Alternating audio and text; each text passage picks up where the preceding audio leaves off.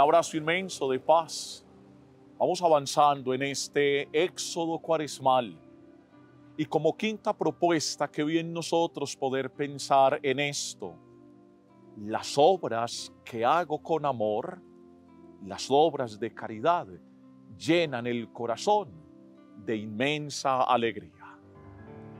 Sabes que el ser humano puede pasarse mil años consiguiendo bienes para sí mismo.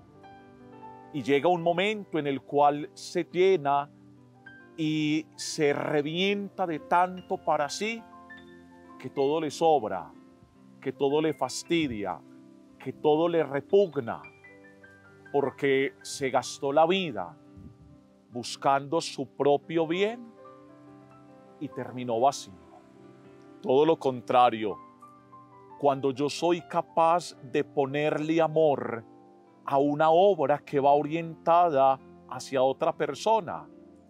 Eso llena el corazón de una alegría inmensa.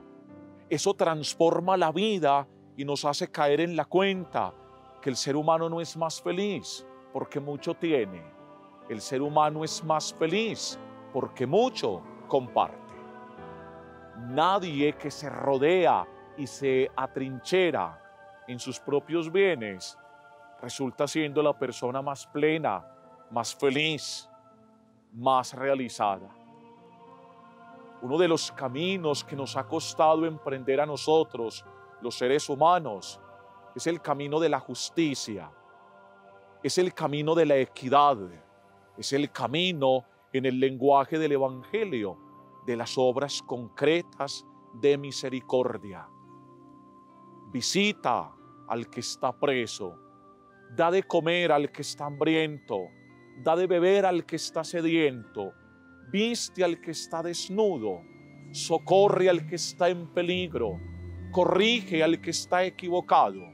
Y cuando tú sabes que eso que haces, lo haces con amor y por amor, eso se siente allá en el alma de una manera tan fresca, de una manera tan plena, que entonces tú no piensas dos veces en querer salir, hacer más bien.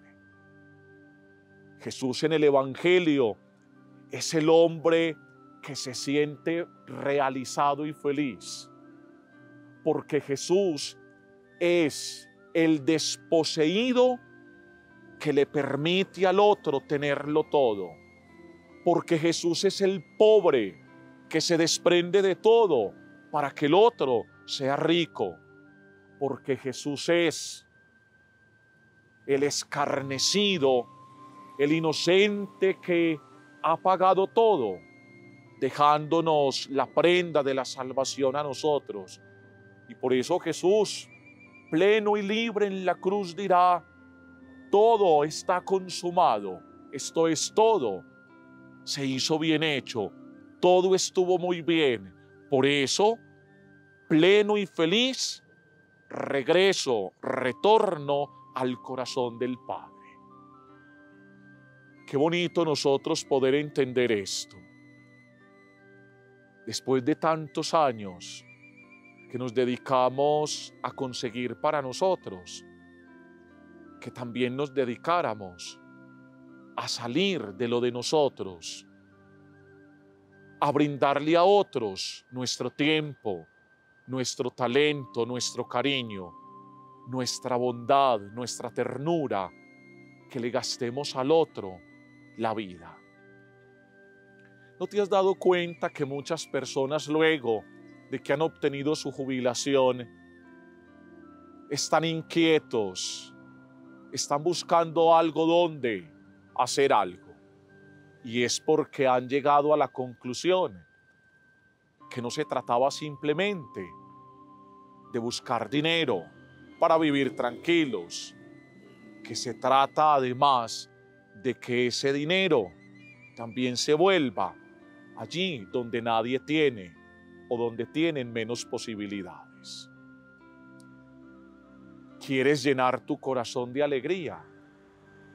Quieres experimentar ya en el atardecer de tu vida tal vez a tus 68, 70, 75 años, quieres experimentar lo que es la alegría del corazón, entonces haz obras concretas de amor. ¿No te has dado cuenta de aquella promesa evangélica? Hay más alegría en dar que en recibir. Y la alegría del corazón llega verdaderamente cuando tú estás dando obras cargadas de amor. Yo te propongo que en este quinto paso de nuestro éxodo cuaresmal le pongas amor al que visitas, le pongas amor a lo que donas, le pongas amor a lo que dices, le pongas amor a todo lo que hagas, porque eso llenará tu corazón de una satisfacción inmensa, de una alegría que nadie te puede dar y que tú ni siquiera sabías que existía esa posibilidad. Ojo pues, la gran alegría del corazón está en que todo lo que hagas, lo hagas con amor. Recuérdame esto, que si quieres hacer extensiva esta tarea que te voy a poner, invita a que muchos visiten nuestro canal de información, del canal, del canal Televid. ¿Y sabes qué tarea vas a tener para esta quinta reflexión de nuestro éxodo cuaresmal? Simple. Vas a reflexionar un poco, vas a entrar un momento en la oración del corazón y vas a pensar en esto. De las cuantas, muchas o pocas obras que has hecho en tu vida, cuáles has hecho para que te vean o cuáles has hecho porque verdaderamente amas. Pilas pues, cuántas has hecho para que te vean, cuántas has hecho porque amas. Dios te bendiga.